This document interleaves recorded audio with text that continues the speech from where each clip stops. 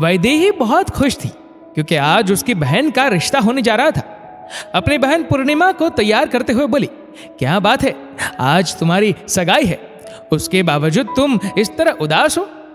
पूर्णिमा ने एक गहरी सांस ली और कहा, माँ बाबा ने लड़का ढूंढा है तो ज़रूर अच्छा ही होगा। मगर मगर क्या दीदी? देखो, कितने अच्छे खासे हैं। हैंडसम है हमारे जीजा जी इनके आगे तो धर्मेंद्र और जितेंद्र भी फेल है।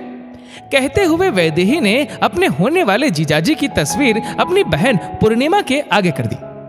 पूर्णिमा ने एक गहरी सांस लेकर कहा, हैंडसम हैंडसम तो है, मगर मेरी सोच के अनुरूप नहीं। तुम्हारी सोच के अनुरूप नहीं मतलब क्या? वैदेही ने आश्चर्य से पूर्णिमा से पूछा, देखो ना, हम दोनों के बीच केवल दो साल का अंतर है। मेरे हिसाब से पति पत्नी के बीच कम से कम पाँच साल का अंतर होना चाहिए। ताकि दोनों में से कोई एक मैच्योर हो और रिश्ता आसानी से चलता रहे। इनकी तो मूछ भी नहीं है। मुझे तो मूछ वाले लड़के हैंडसम लगते हैं। ये तो तेरी पसंद है, मूछ मुंडा लड़का और उम्र का कम अंतर। ऐसा कर, तू शादी कर ले। कहते हुए पूर्णिमा मुस्कुराने लगी। मगर कहते हैं ना कभी कभी मज़ाक में कही हुई बात भी सच हो जाती है। ऐसा ही वैदेही और पूर्णिमा के साथ हुआ। पूर्णिमा की शादी के बाद पूर्णिमा अपनी गृहस्थी में खुश थी। उसने कुछ हद तक विराज को बदल दिया था। मगर काल चक्र ने कुछ और ही सोच रखा था। पहली डिलीवरी के दौरान पूर्णिमा को जो हाई ब्लड प्रेशर की शिकायत हुई, वह कम उम्र में ब्रेन हेमरेज का कारण बनी और पूर्णिमा अपने दो माह के बेटे को छोड़कर इस दुनिया से चली गई। वैदेही तो मानो अपनी बहन के जाने के गम में इस कदर उदास थी। कि उसे खुद का ही होश नहीं था। मगर जब खुद को थोड़ा संभाला तो अपने भांजे का ख्याल आया। तुरंत जाकर उसे अपनी गोद में लिया और जी भर कर उसे दुलार किया। कुछ समय तक वहीं अपने भांजे के लिए माँ भी थी और मासी भी। उसका अपने भांजे से लगाव देखकर पूर्णिमा की सांस ने वैदेही के माता पिता से वैदेही का हाथ पूर्णिमा के पति विराज के लिए मांग लिया। एक बेटी को खो देने का गम अभी पूरा ही नहीं हुआ था कि दूसरी बेटी को किसी दुजाहू से ब्याह देना उन्हें कतई स्वीकार नहीं था। मगर पूर्णिमा के सांस ने कहा, यहाँ बात विराज की और हमारे परिवार की नहीं है, बल्कि पूर्णिमा की अंतिम निशानी की है। मैं नहीं चाहती कि उसकी परवरिश किसी गलत हाथों में हो, इसलिए आपसे वैदेही का हाथ मांग रही हूँ। आखिर माँ के बाद मासी ही बच्चों का अच्छी तरह से ध्यान रख सकती है। पूर्णिमा की सांस के तर्कों के आगे वैदेही के माता पिता झुक गए और उन्होंने वैदेही की मर्ज़ी जानना चाहिए। उनके किसी भी सवाल का वैदेही ने कोई जवाब नहीं दिया। सिर्फ़ अपने भांजे जतीन को गोद में लेकर उसका चेहरा निहारती रही। वैदेही की खामोशी को ही उसकी रजामंदी समझ, उसकी शादी विराज के साथ कर दी गई। शादी के बाद पूर्णिमा की तस्वीर के आगे खड़े होकर वैदेही ने कहा, दीदी, ज़िंदगी भी कैसा मज़ाक करती है? आपकी शादी मेरे पसंद के लड़के से हुई जो कम उम्र का था और बिना मूछ का था। मगर मेरी शादी आपकी पसंद के लड़के से हो रही है।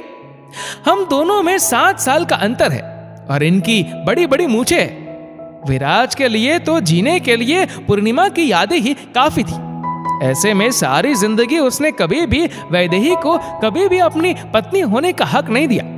मगर वैदेही जतीन की माँ बनकर ही बहुत खुश थी। उसका सारा दिन जतीन की देखरेख और उसके आसपास गुजर जाता था। दोनों के बीच काफ़ी अच्छी बॉन्डिंग हो गई थी।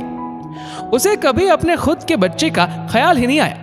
समय पंख लगाकर उड़ गया और आज नन्ना सा जतीन बड़ा होकर मल्टीनेशनल कंपनी में डायरेक्टर बन चुका था। जतीन जितना वैदेही के करीब था, विराज से उतना ही दूर। समय के साथ विराज को अपनी गलतियों का एहसास होने लगा।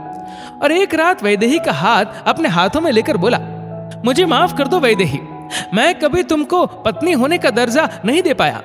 आज अंतिम समय में मुझे अपनी गलतियों का एहसास हो रहा है। हो सके तो मुझे माफ़ कर देना। वैदेही ने उसके मुँह पर हाथ रखकर कहा, कैसी बहकी बहकी बातें कर रहे आप भी ना कुछ भी कहते हो, मगर शायद विराज के कहे शब्द सच थे, और वह रात उसके जीवन की आखिरी रात थी। विराज के कहे शब्द, विराज के अंतिम संस्कार के बाद भी वैदेही के कानों में गूंज रहे थे। इतने सालों में उसे पहली बार विराज की पत्नी होने का एहसास हुआ था, वरना आज तक तो वह जतीन की माँ थी। अंतिम संस्कार से लौटकर आने के बाद जतीन ने देखा, वैदेही दरवाजे पर ही टकटकी लगाए मानो किसी का इंतज़ार कर रही है। जतीन उसे अपने कंधे का सहारा देकर घर में लेकर आया और बोला, माँ, इस तरह खामोश मत रहो। एक बार अपनी माँ को खो चुका हो, और अब पिता को भी। अब दोबारा अपनी माँ को खोने की मुझमें हिम्मत नहीं है। जतीन के शब्दों से वैदेही मानो नींद से जागी हो, और खुद से बोली हाँ यही तो अस्तित्व है मेरा। जतीन की माँ चाहे पूरी दुनिया के लिए मिसेज विराज थी, मगर अपने जतीन के लिए उसकी माँ। अब माँ बनकर ही सारी ज़िंदगी जतीन का ख्याल रखना है। कहते हुए उसने जतीन को गले से लगा लिया। माँ एक ऐसा अनमोल रत्न है, जिसके बारे में शब्दों में बयां करना बहुत कठिन है। कहते हैं कि भगवान हर किसी के साथ नहीं रह सकते थे, इसलिए उन्होंने माँ जैसे अनमोल रत्न को बनाया। माँ उस भगवान का बनाया हुआ वो अनोखा किस्सा है, जिसे आज तक कोई नहीं समझ पाया। अजीब होती है माँ, लेकिन जिसके नसीब में होती है, उसकी ज़िंदगी खुश नसीब होती है। दोस्तों, इस वीडियो को लेकर आपकी क्या राय है? नीचे कमेंट करके ज़रूर बताएगा। और अगर आपको वीडियो अच्छा लगा हो तो इस वीडियो को लाइक करेगा शेयर करेगा ज़्यादा से ज़्यादा लोगों तक। और ऐसे ही और भी इंस्पिरेशनल वीडियोस के लिए सब्सक्राइब करें हमारे यूट्यूब चैनल को और फेसबुक पर। फॉलो करें हमारे पेज को। धन्यवाद।